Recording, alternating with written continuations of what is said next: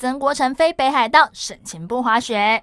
我来唱一首歌，祝你生日快乐。卫视中文台庆祝二十五周年，十六日举办记者会，十多位主持人到场祝贺。不过新年假期就要到了，有没有什么安排让大家参考参考啊？我就是会提前回去帮忙婆婆做家事之类的。对。哎呦，小康哥，看你吐成这样，说说你的吧。因为是我可以比较放长一点的假的时间嘛，那一定要带两个小孩跟太太啊。一娘子呢？